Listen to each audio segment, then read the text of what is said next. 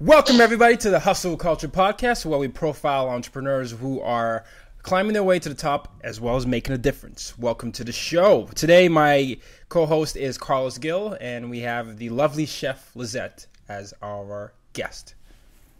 Hey, hey, welcome, Hustle Culture Nation. This is your co host, Carlos Gil. I'm really excited about this episode because we have the lovely Chef Lizette joining us. And before I bring her on and welcome her to the show, I just want to go through Chef Lizette's bio. And this is just straight on her LinkedIn. Chef Lizette has been celebrating 24 years of feeding more than 4.5 million people, which include five U.S. presidents, world leaders, dignitaries, royalty, Fortune 500 executives, celebrities, and people from all walks of life. She has an amazing background. We're looking forward to getting to know her a little bit more over the next uh, hour or so. So, with that, welcome to Hustle Culture, Chef Lizette. Gentlemen, thank you so much for having me. I'm super excited to be here with you. You know, yeah, we're really excited to have you as well. Thank you. Thank you. You know, when Carlos was, was saying your, your bio, one of the first things I was I was saying is how did you meet those people? So give it give, it, give the audience a chance to get inside your head and understand what exactly it was for you uh, to actually decide to be a chef. You know, it really came. So I'm uh, Mexican American. I was born in Mexico City. We moved back to the United States. I'm the youngest of three. So we moved back to the United States when I was about five or six. And so after that, every single Sunday was about getting together at my grandparents' house with about 20 of us that would just pack in the house every Sunday. And that really absolutely planted the seed of the definition of what food means in my life and what I now teach and hopefully inspire folks to see what's possible in their life. And that is that food is an absolute celebration. It is the centerpiece of every home. And the kitchen is really the heartbeat of every home. And so when you bring your family and your friends together, it, it just elevates your life to a whole nother level. And so when I was in high school thinking about, okay, what do I want to do with my life? Um, it's just really interesting because back in the day, I mean, I feel old just even saying back in the day. but I got to tell you, I mean, because I've been doing this 24 years. So you could just, you know, flash back 24 years. And, you know, I was surrounded by people like my sister who knew she wanted to be a lawyer her whole life. I was surrounded by people who knew what they wanted to do at a very young age. I was not one of them. So I did many other things. I went into fashion school. I wanted to be a buyer for, you know, the fashion industry. Um, but you know, when I, in retrospect, when I look back, every single position that excited me, like being a nurse, being a real estate broker, it was all going back to just serving people. And so it makes perfect sense that I decided to be a chef uh, because at the end of the day, I'm serving people, and it's it's been a thrill. It continues to be a thrill after 24 years. It blows my mind how every single day actually gets more exciting. I get excited just hearing about food and cooking, to be honest with you. I'm a big foodie myself. Let's get right into it. What are some of your favorite dishes that you like to cook? Um, or, or tell us about a time in which you had the the honor of serving, whether it was a U.S. president or a uh, Fortune 500 executive. Tell us what type of food they like to eat. You know, it's so funny. I swear to you, the millionaires and billionaires of the planet, because I haven't just served those in this country, are really just the most simple either really health conscious or meat and potatoes. I mean, I cannot mention the person's name because unfortunately, like many of the people who I've cooked for, I still have confidentiality agreements. Um, but I'll tell you, this is this person is a tower of industry. You see their name brand, their family brand all over the world, not just in the United States. And so, like the first thing that I made him was a BLT, and you know, I tried to like, okay, how can I make this BLT really fancy? But he just wanted it really simple. And it was a complete honor. I actually took a picture of, you know, my presentation of that BLT because I mean that photograph is timeless and and later on as I can divulge over the years who that person is, it'll make sense to you how memorable um, but it was a, it was a BLT sandwich. You know, I've had presidents who really just want a really great burger. Um, you know, celebrities. I mean, I got to tell you that folks who are more in Hollywood driven are really health conscious, and so. I mean, I've really done everything across the gamut from amazing Mexican food to Italian food, French food, Mediterranean food, um, to just really classic American food and and of course the hallmark being tweaking every one of those genres to be healthier because everyone who does hire me does want a healthier component to all of the different cuisines that I just mentioned. That's re- that's really interesting, and I, I like what you're saying. Is you know we always think these celebrities are larger than life, but at the end of the day, just regular people. They just want BLTs like we do as well. So it's uh, it's very interesting. But chef, I want to I want to go back to a point you made earlier. You said unlike your sister, you didn't know, you didn't quite know what you wanted to be. So you did many, many, many things. Many hustlers out there, many people that listen to the show and podcast certainly identify with that. I, I know I do myself. What do you say to those people who are still trying to find out what their why is, right? You know, what their purpose is and what they're good at. And how can you, what, maybe what piece of advice can you tell them? You know, it's actually really, really simple. Um, it's simple and it's not because the way you get to that journey is by doing a bunch of stuff that you don't like doing. I mean, I know that that's a cliche that many successful people will tell you, but it absolutely is the key to success because you have no reference point. You know what I mean? I mean, so many people come out of college, or now many millennials are thinking, I don't want to go to college, but what am I going to do with the rest of my life?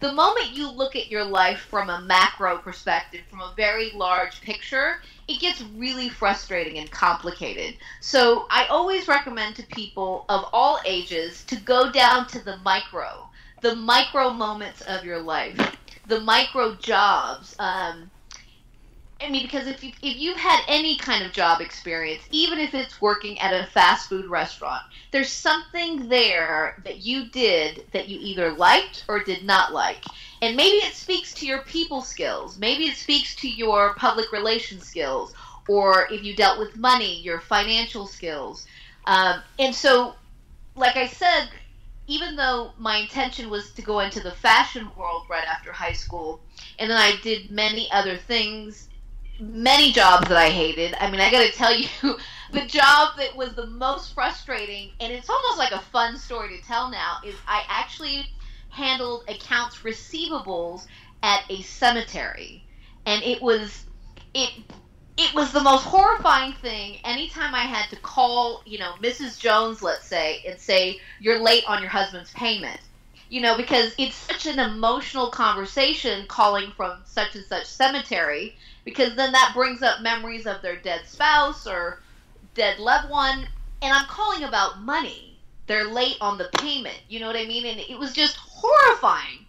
But what i learned from that job what i learned about myself was the compassion the level of care that i took in those calls. Because it wasn't just about i mean there's many people who could have just made it like a manufactured call like you're late. This is how much it is when when are we going to get it blah blah blah. But i really started to get to know myself in those kinds of jobs because i am at the end of the day just a people driven human being. And so even in that job that i hated it gave me a sign that i have huge compassion and i know how to navigate conversations with people. So my tip to youngsters or people who are trying to go through career changes is look at your DNA. Because the moment you start even stepping outside and looking at your family and all of that, it's just, it's too confusing, it's too frustrating. You have to really get self aware, know yourself, look in the mirror, and go way back. Like when you were five years old, what did you like to do when you were playing? How did you play? Who did you hang out with? Like you really have to go back and that's why I said mic on a micro level, and dissect and take inventory of every part of your life because it will give you clues. It will absolutely give you clues of the person that you're supposed to be as an adult.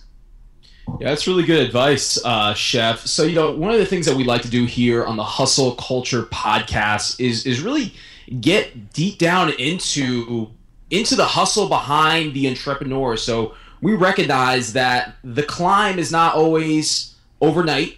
Okay, it takes many years to go ahead and build up this great resume that you have. But let's talk about let's talk about that climb.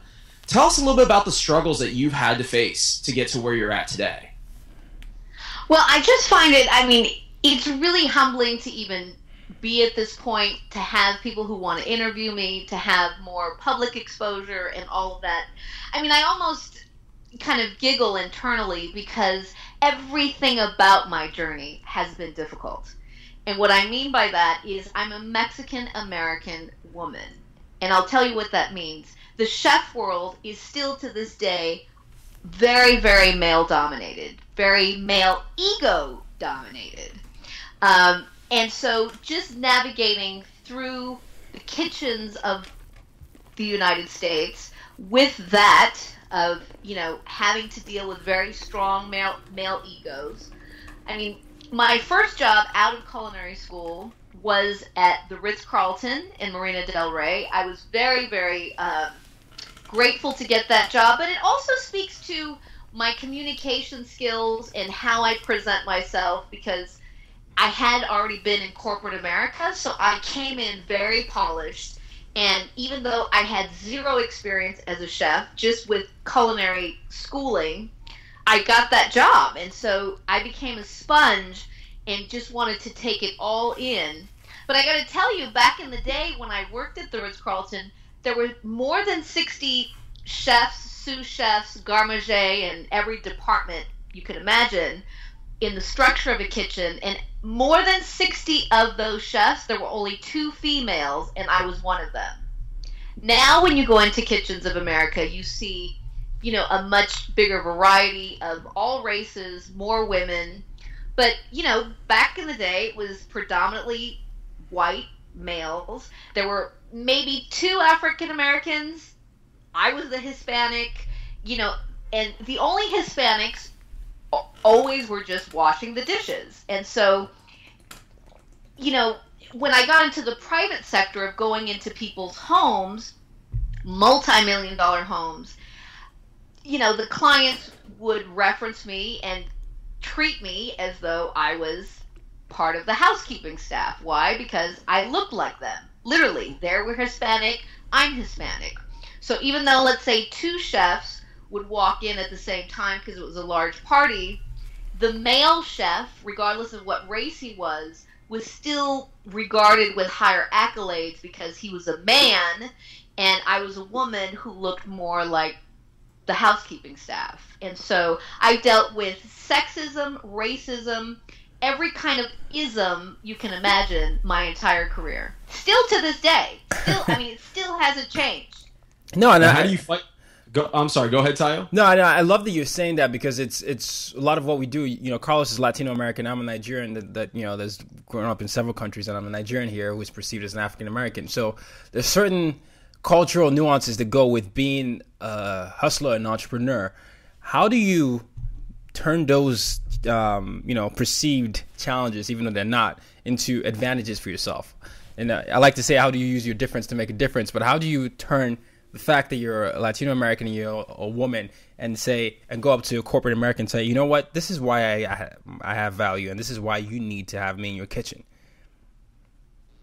Well, what's interesting is now being a business owner. I mean, let's just deal with the numbers, right? There's even less women in entrepreneurship.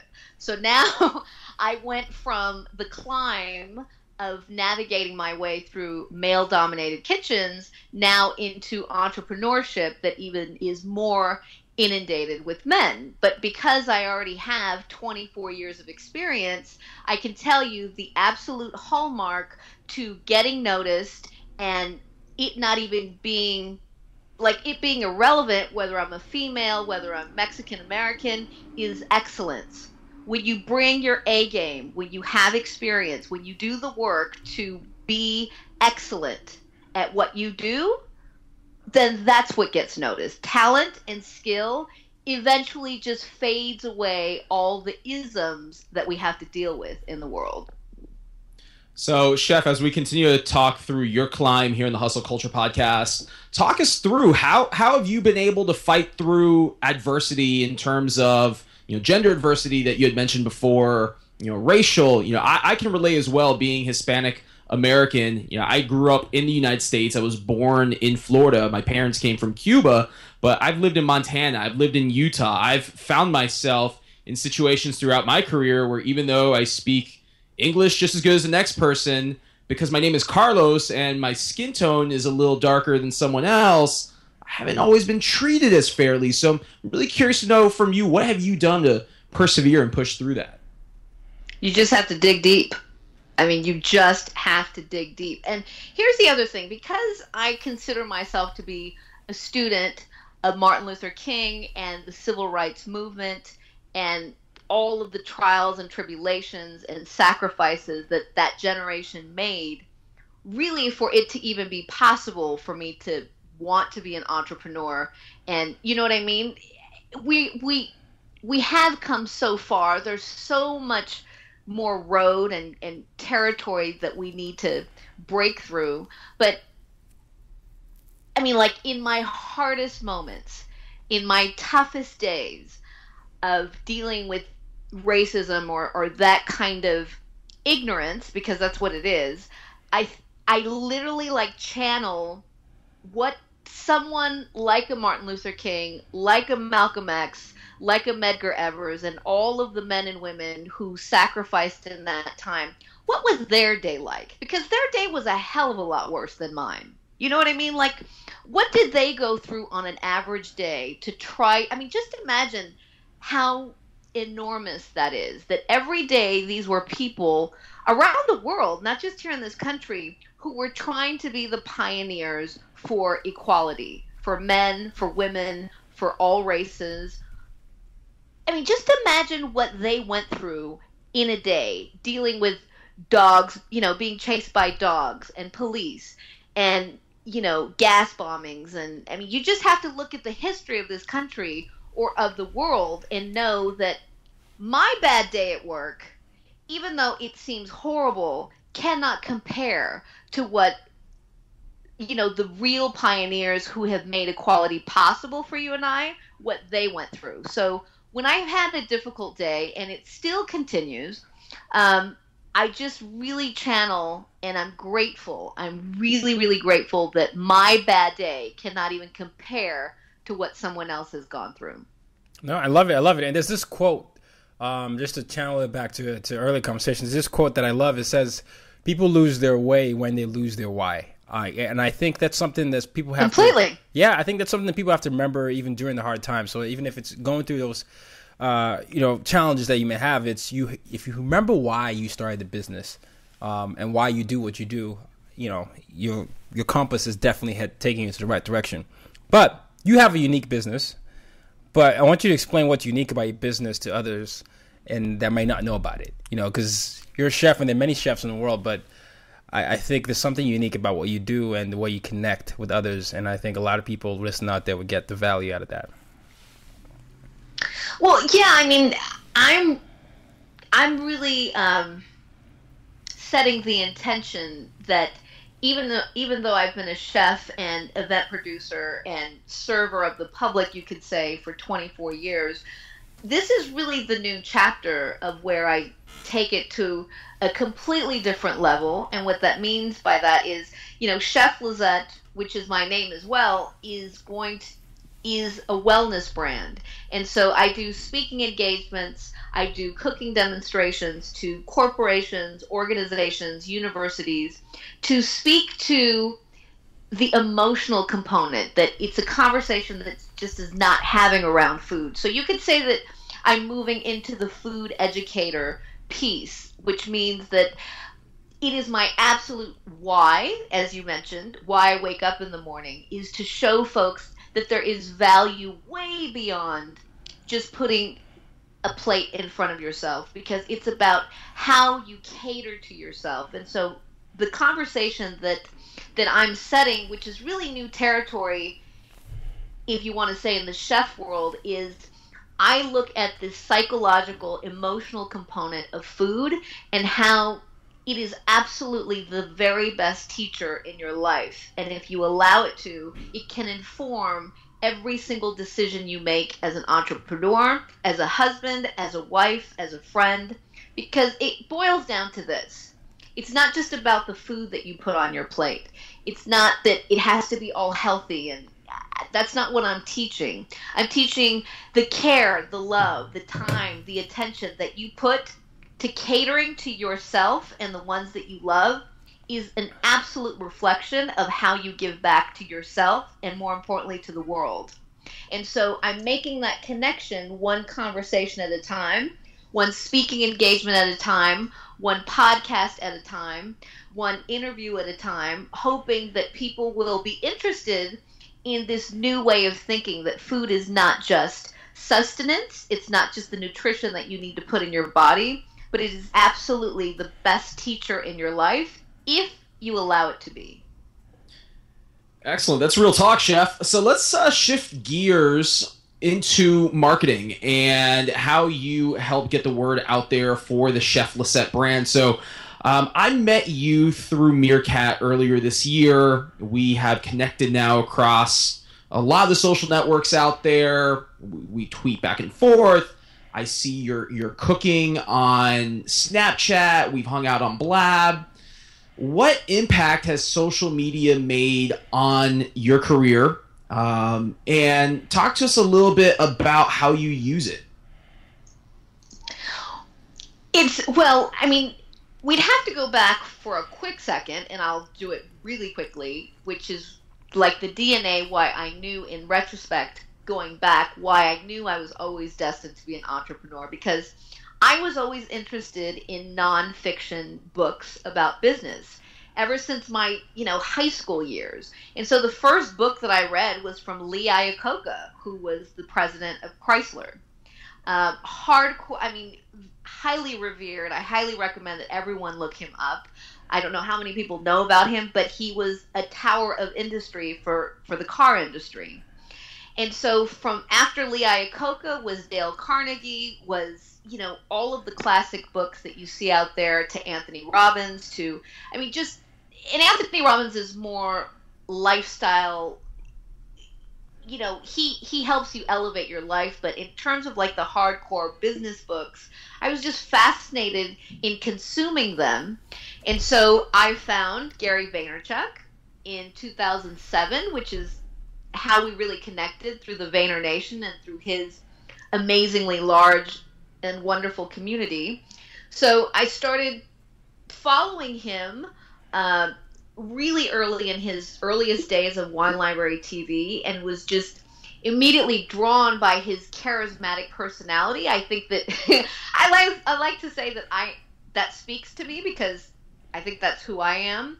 And so it was just fascinating to me actually also how organic and how confident he was in putting together a show on YouTube where it was not, you could say, Hollywood quality. It was more homegrown, and I really loved that authentic feel to the show. And so then he wrote uh, Crush It, and then Thank You Economy, and I mean, I've been following his work ever since and learning from him.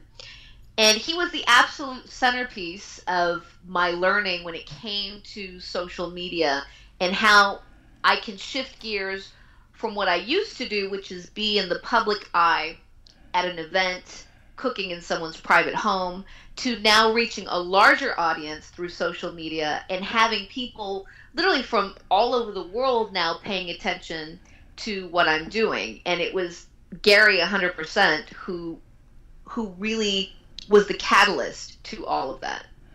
It's amazing. Have you ever met uh, Gary? I have. Yes, I have. have. So that must have been a. Yeah, I've got two Vayner, Vayner Nation people here on this podcast because I know Carlos is a Yeah. big fan as well. Oh, that's I, I am a huge Gary fan. I have not had the good fortune of meeting him yet, though, in person. well. See, Well, when you when that, you though. do, you will remember it forever. I'm sure I will. I have no doubt my, myself. So, Carlos Vaynerchuk, influencer. You, influencer. Many people who are coming into the social media industry and trying to figure out how to use social media to get the business to the next level are starting to realize that they need to get in front of the right people. And something that you've done a good job of is making sure your content is seen in front of the right uh, right influencer, right person in the industry. What kind of tips can you offer people out there who are, you know, in their own industry and trying to say, get in, in, in front of the right person? Well, um, I mean, we we all had a conversation prior to this, so I should just maybe get us up to speed to why you're asking that question. Julia Child, the Julia Child, ended up being my mentor early on in my culinary career. And ever since her, I've been able to garner the attention of hot, we're talking about legendary influencers. I mean, it's so funny how that word influencers is now like a new buzzword, but hmm. quite honestly, I, you know, some of my mentors are some of the change agents of the world. I mean, many of them who I cannot mention because, you know, that's the kind of relationship we have, and I respect that. And so there's many things that I talk about here because I think that people are confused when it comes to influencers and how to navigate that world. Uh, which I said in our previous conversation is you have to be really selective about who you're listening to, who you're consuming. Are they worthy of your time? You know, and I don't care if it's literally a world leader. You have to really spend time digging deep into their work, into their psychology of who they are, their DNA. Are they a good human being? You know, or have they just manufactured an amazing career and made a marketing machine out of amazing status? I mean, because there's many celebrities and many influencers who know how to do that well. So I tell people once you've taken the time to really do your homework on who you want to be an influencer in your life, which is really forget about influencer. I like to use your teacher, your mentor, you know, and maybe with time they might be your friend, but you have to set the intention that in order to get their attention, and I don't care if it's Steven Spielberg, Oprah Winfrey, President Obama, all are available if you believe you have the potential of garnering attention from someone like that. And the way you do that is to not put anyone on a pedestal, to see them all that guess what? We're all human beings. We all in our pants the same way. We all eat. You know, you know what I mean? Yeah. You have to realize that even Mahatma Gandhi, Dr. Martin Luther King, Mother Teresa, the Pope, we're still all beings on the planet. You know what I mean? And so Julia Child wasn't always Julia Child. And the moment that I just started to really chase after her and go to her book signings, go to her speaking engagements, to wine tasting dinners, and just followed her around, I wasn't nervous anymore. And this was early on. This was way before I had exposure to Hollywood. Um, you know, once I finally met her and she was a grand presence just to begin with, she was way taller than me. So she was literally a towering figure. But she was also just the most kind and humble and honest human being you could want to be around. And so I highly recommend Carlos, since you haven't met Gary or whoever you want or you consider your influencers and mentors to is when you do have that magic moment, is I mean, of course, to praise and compliment them because they've had impact in your life, but there should be no one that is on a pedestal. You know what I mean? You should be your on your own pedestal. And so when you approach people on that high level, uh, as though you're both fools, they really respect that, or it definitely like throws them off. You know, not that you're being condescending or egoic, or you know what I mean. there's a level of humility that you have to approach those people. But when you're like, hey, I'm pretty spectacular too. You know what I mean? So yeah, absolutely. You may want to be my friend. Mm-hmm. Maybe it's not just the other way around. Yeah, right. One one of my mentors. You know, I believe in. I, I definitely believe in having mentors, and you know, we'll talk. We'll still talk about influencers here in a minute because I definitely want to hear what both of you um, think about what I'm going to say. But one of my mentors is a C-level executive. He's a CEO for a um, for a known company, and a couple of years ago, I was having dinner with him, and I was just I was really timid at that point in my career, and I was always timid not when it came to approaching my own peers, but when it came to approaching senior level executives. And I would just tense up. I would freeze. I wouldn't know what to say. I would obviously be very nervous. And his advice to me is one of the best advices that I have received, per- perhaps in my life and I know in my career. That's just be yourself Mm-hmm. And to that point, it was anytime you're around anyone, regardless of how much money they make or what their status or, or position is in life, they put on their pants the same way that you do, which you had just said, Chef. And right. it was just really just be yourself. And you know, I've had the, the opportunity to meet some really cool people throughout my career and you know, hang out with some big names. And again, when it, when we talk about Gary and just the impact that he's made on my life, it goes beyond influencer status. I wouldn't be right. sitting here talking to either of you right now if it wasn't for back in 2009 and 2010 when I was struggling just to get by financially, learning about Gary and really following him and really just being inspired. And when I look at Gary, I see a guy of, you know, I, I see someone who's accomplished a whole heck of a lot, but honestly, there's nothing stopping me or you or Tayo from from owning our own success and Absolutely. The day I meet Gary, honestly, I just want to shake his hand and say thank you. Uh, more right. than anything, it's just say thank you for for him being himself. Right. And uh, you know, on that note, you know, going back to influencers, I think the the term influencer is misused nowadays, and it's really abused. And I say that because you have this younger generation that's up and coming, and they ask me, you know, how do you become an influencer? And I let them know I have no idea. You know, I've never aspired to be an influencer.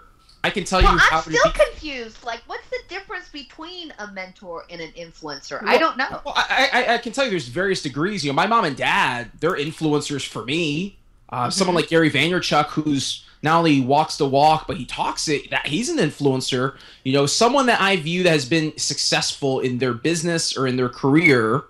Uh, mm-hmm. I view that as having influence, but honestly, guys, and Tayo, I want to hear your perspective on this. Mm-hmm. Just having a lot of followers on Twitter. I'm sorry, guys, but that does not make you an influencer. No, I think the, the term influencer has come to almost be synonymous with like thought leader. So it's if you have that power to you know say something and and it impacts a, a whole industry or a, a consumer spending pattern. If you if if someone hears your voice say you should go buy that or you should invest in this platform, like um, Scoble, Robert Scoble, for example. Um, those type of people. I think that to me is what I see as an influencer. Like a Gary Vaynerchuk mm-hmm. can say something about social media and be like, "That's okay. That's what he said," and you know, people will not question uh, his type of thing. But that's the way I see it. Uh, think mentor is a little different in the sense that it, you know, those are those are you know they stay with you and they're they're almost more personal uh, in that type of way. But could be wrong. I think we all have different definitions of that. But that's my term my view of what an influencer is. Okay, that that totally makes sense to me now. So you're saying that a mentor is more with you in the trenches, helping you out, mm-hmm. Replying to an email, right. or you can talk to them on the phone. Invest in the like time. That. Yeah, invest in the time in you to see you develop into the person. You know, the mentor mentee relationship. And um, yeah, so I mean, I do think it's totally overused. You have all these people saying, I think with the YouTube um, generation, that's almost accelerated this influencer thing because now you have many people mm-hmm. with their own channels and you go to New, I live in New York City so you see many people with um, youtube.com slash something and they have like 20 million subscribers and like oh my goodness he must be an influencer so all these brands need to work with him because if, if he can say this to his followers or her followers then we're going to get all these sales and we'll target his demographic and that's going to be the amazing for our business because someone else is using it so i think it becomes that type of thing and Carlos hit the point when he said younger generation. I'm in that gen demographic, so I shouldn't be saying like that. But we, we, we, tend to we tend to sometimes want quick success, and and we get romanticized that we you know by seeing all these people who are on TV and have, have amassed all these followers, but uh, Carlos would attest this. Having a lot of followers is different from actually connecting with them. So it's that type of thing. It's just a vanity metric, and I think a lot of people get get really pulled into just those numbers. Yeah. and uh, they they really don't think through. You gotta hustle. I know the name of our show is Hustle Culture. You gotta hustle. There is no overnight success. The climb is going to be a slow climb, and you have to be willing to put in the sweat equity. And if you're not going to put in the sweat equity, then get out of line because there's someone else coming right behind you who's willing to do so. Yeah, and, And- invest in the time. Look, inve- you if you're going to build an audience, and if you want someone to listen to you for something that you feel like you're an expert in, you have to also see it like these people are investing time with me. I should invest time in them. Uh, because I, I know Carlos, for example, and, and you, I think you do a chef. I've seen some of you interview chef, where you you provide them value, and sometimes you you know you listen to what they say. What do you want? You know that's why I love Blab. What do you want to hear? What do you want to do? You give them the chance to feel like they're going with you on the journey, and that's the way you can actually turn your quote unquote influencer status, if that's what you want to go with, to actually Right. making that influence because you're using that followers. But if you're in it to just to get 20 million followers and not do anything with that, then it's just like Carlos said, it's vanity metrics because people see through all that stuff, and no one's gonna, you know, think of you when you're tweeting out something if you're not giving them anything that they can use. So Well, here's the thing, guys. I mean, if I could do my little three two minute rant here on Go this. for it. Rant. Drop it Um, like drop Go. it like it's hot. go, go, go, go. And I mean, listen, you're talking to a lady who's 44 years old, okay? I mean, I, I've been around the block a few times, and I'm still young. You know what I mean? It's like I'm so young in the game. I mean, people would laugh at me saying you're 44, you know? So you guys are like mini babies. I'm the baby. but- Tayo's the baby. I'm the baby. I'm like the middle-aged social media yeah, professional. yeah, I'm the baby here, but uh, yeah, I mean, but he, that I think we all need to understand and get really, really honest with business. Okay, um, I mean, social media, as I had mentioned to you in our last amazing conversation, the reason why I love social media is because it introduced me to Carlos Gil and now Tayo and now so many other players who we were in the conversation with because I am in the people connection business. Still to this day, I don't have one thing to sell to you guys. You know what I mean? Like the audience and friends and relationships that I'm building are not based on okay, how can I throw a right hook? At one point, can I tell you to go to this link and buy this thing? My intention has been pure the whole t- way through and will continue to be that I am about building relationships. And why is that? Because I saw my grandfather, who had his own business for 55 years and literally died a week, he worked a week within his passing.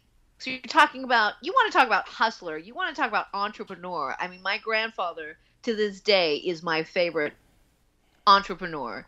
You know, imagine 55 years of building relationships with clients that built I mean, oh my god, like the 2 weeks that we spent in calling his clients to tell him that he passed because many of them were with him 20, 30 years.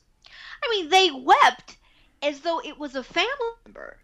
You know what I mean? And so, and then my mother, who had her own business for 26 years, a commercial cleaning business that literally started with a $100, some cleaning supplies, a contract to go and clean brand new homes, and, you know, ended up with a staff of 75 the entire Southern California territory of contracts of all the new homes.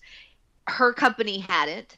Um, so you're talking about really building businesses. That's what we're talking about here is building businesses. And social media is a vehicle that can connect you to building relationships. And so the thing that I just have a hard time and I feel frustrated for you guys quite honestly because your generation because there's live streaming and Facebook and all of these platforms I think people get confused that these are just tools and vehicles to communicate with people. But now we're now we're speaking the language that my audience and what is my reach and what are my analytics and I mean, do you know what I mean? It's like my grandfather didn't have to deal with all of that. He was focused on building a business, which building a business means building relationships with your customers and your employees. I mean, you know what I mean? It's all centered based on people first.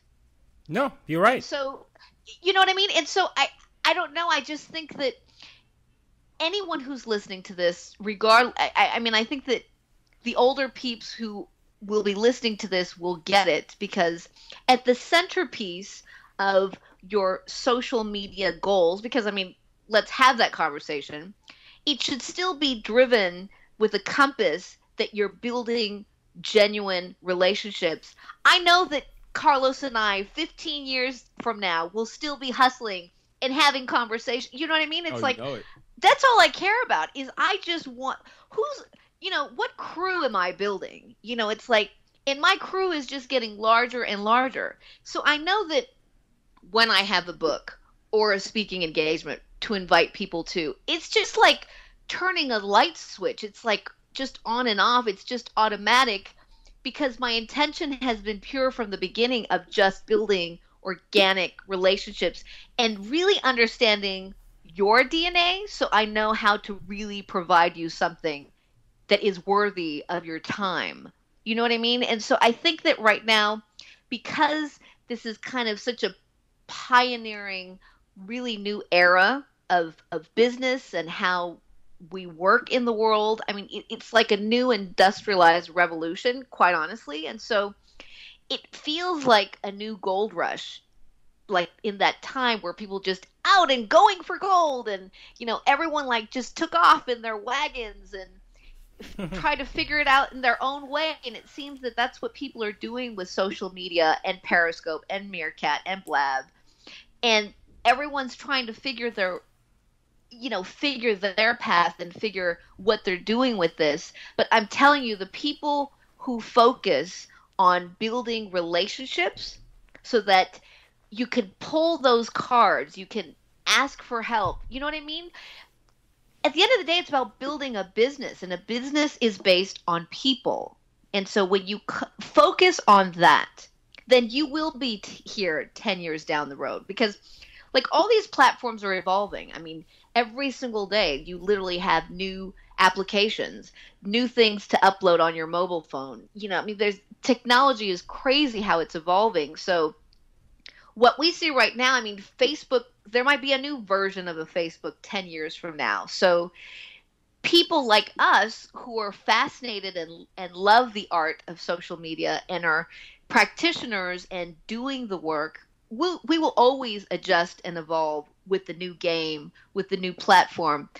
But it's not about that. It's about do you really understand what the real DNA is? And the real DNA, the heart and soul of all of this, is for you to connect with human beings.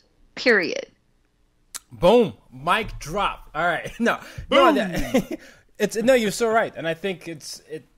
And the people who have the conversations and you use words like tactics and know your analytics, and you know what I mean, like they're coming from a more manufactured, like how can I spin this web so that I can get more viewers and have a million followers and get you know a hundred thousand views on my YouTube videos so I can get sponsors and you know what I mean? Like what if there all of a sudden tomorrow becomes a new format of like all advertisers are gone. You know what I mean? Like now it's more about the quality is what's going to rise to the top. So the businesses who actually have amazing cars or an amazing graphic design business, like I could see the day where there's going to be a new way of how you monetize via social media, via the internet.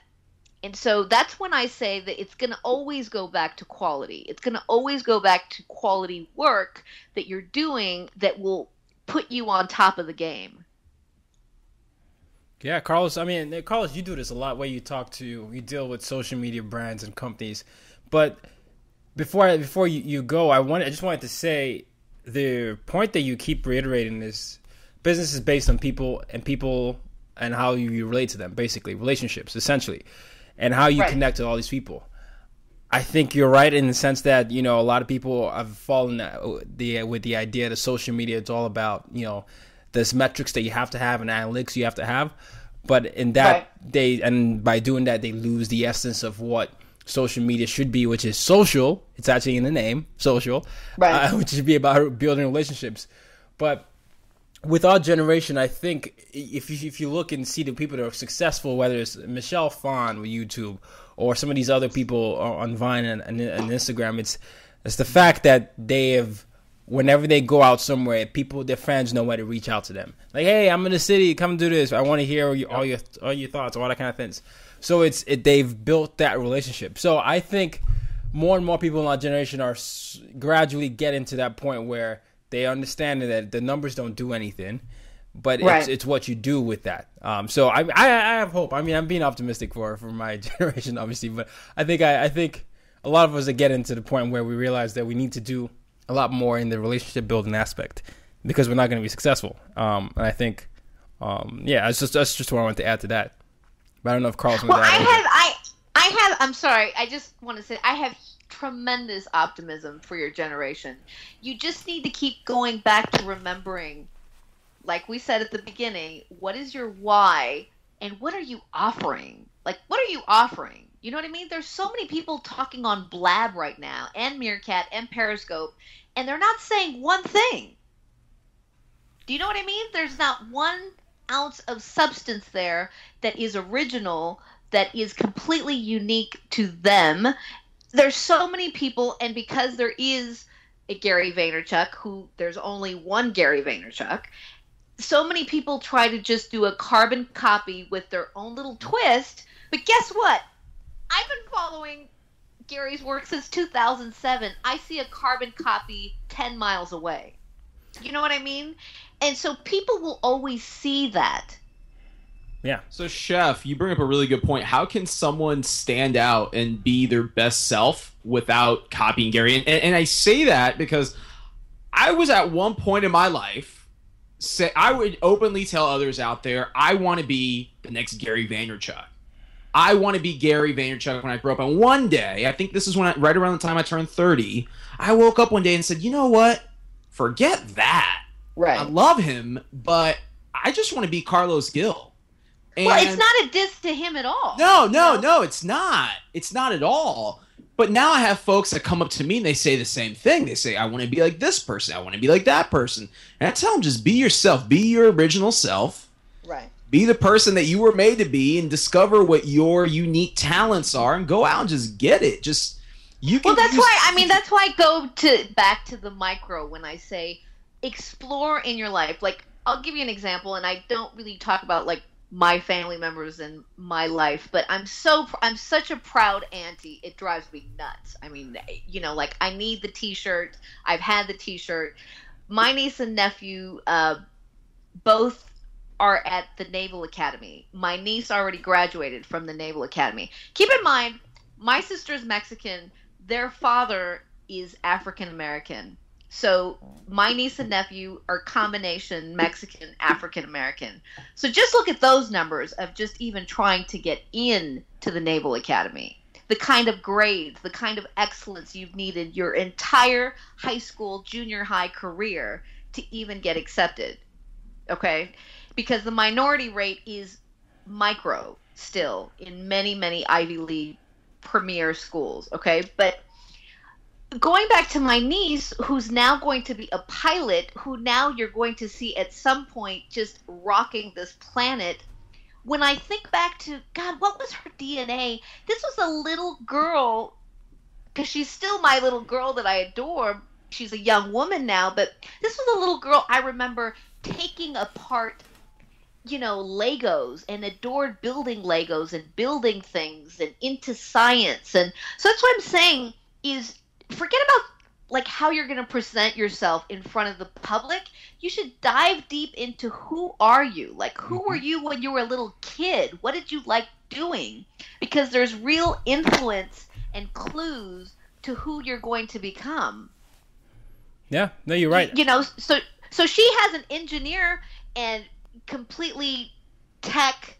Um, I mean, she's just it's it's extraordinary with intelligence and all like literally like security intelligence and all these Right. different um, opportunities that she's that she now has available. But it all came from a really curious little girl who liked building and taking things apart and understanding the analytics or you know the analysis that goes with that.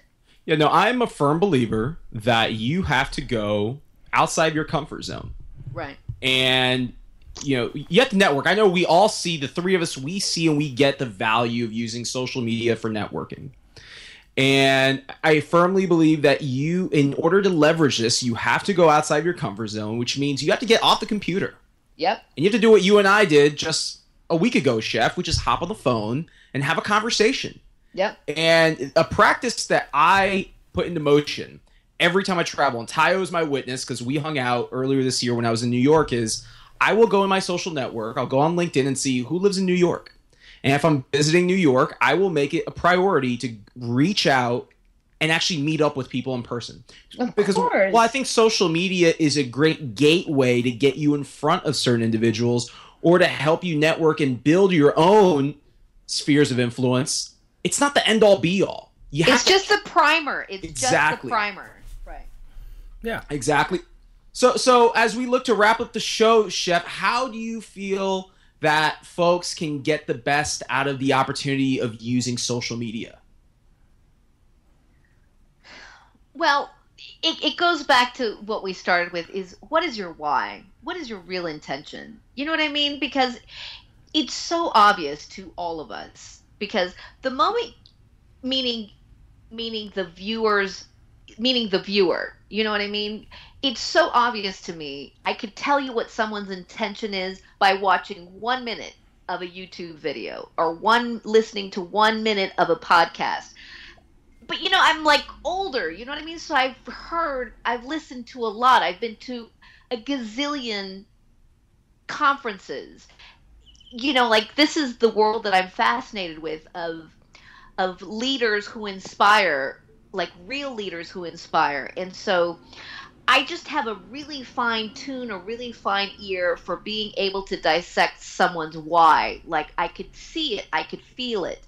And so if you focus on your why if you really put the time to dissect who you are as a human being and then partner you know find the right partner meaning wife spouse girlfriend boyfriend family members friends because that's all i mean we don't even have time to get into that but you are who you hang with a hundred percent. And there are so many people who are never going to even have a shot as a successful won't even be able to call themselves entrepreneurs because they don't have the right crew, the core crew, the people who push you, who challenge you, who support you. So that is first and foremost. So I would say find your why, and that's a process you have to do by yourself. Your spouse, your girlfriend, your boyfriend, not even your family members can help you with that. That's something that you have to dig deep and figure out, and that's something only you can do. And once you know what it is and you're out there testing and doing the work to really see if that's who you are and really see if that's what you like, then bring your crew in. Get their opinion, get their support because you're going to need them. And, and I mean, listen, I've let go of a ton of friends. I have eliminated many people from my life, which was very, very difficult. Really difficult. I'm talking about people that I loved. But the moment I realized that, you know, I'm just not getting what I'm giving, and I need a lot of support. And I'm happy to support you on your journey, but when I see that you're not supporting me on mine, I gotta go. Your contract is expired. You know what I mean? And you have to be that hardcore about it because this is your life we're talking about. You cannot have negative forces that are in your crew. You just cannot. It's not going to work. And so that's step number 2. Once you bring in your crew, your core crew, and they and you've selected them carefully and now you're on a roll. Now it's just about spending the rest of your life getting better at that and willing to literally just take baby steps day after day after day. I mean, I'm 24 years. I feel like I'm just turning the page to a new chapter. You know what I mean? I have such a long way to go.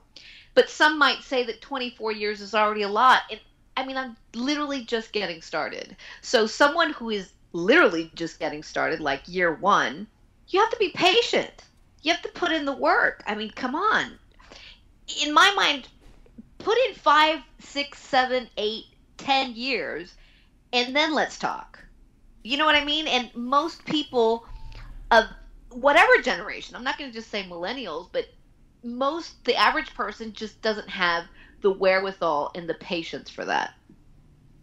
No, I love it. And and um, as we wrap up here, you, we are just talking to Chef Lizette, the amazing Chef Lizette. What she's touched on is discover your why. To do so, be introspective, and because only you know. Tap into that inner curiosity that you had when you were a kid, and then you discover what you have. Don't get bogged down by the idea of being realistic because only you can determine what's realistic for you. And also invest in relationships, whether it's it's through social media, but also through your your you know your outside life, offline life, because that determines you know who you are and how far you go. You know, you are the sum of the five people you hang around with, and then put in the work. Hustle your way to the top, and just hustle, hustle, hustle. Overnight success usually take 10, 15 years, and don't be bogged down by any um, any failure you have. Fail forward. Does that sound about right, Chef? Amen. All right, Amen. all right. That's it. Where can we find you, and how can people reach out to you? I'm everywhere. you could, I, I mean, my website is outdated, and that's okay. But the website does have all of my links. Um, it's really simple though. On Twitter and Instagram, it's Chef Lizette, and then the number one. And everywhere else, Snapchat, Facebook, Pinterest, Medium, uh, Beme, which is not even out yet. B E M E. I mean, like every other platform is Chef Lizette with F C H E F and then Lizette L I Z E T T E. All right, there you have it, Chef Lizette, everywhere, and even on places that are not known yet. So thank you, thank you for coming on the show. It's been an absolute pleasure, gentlemen.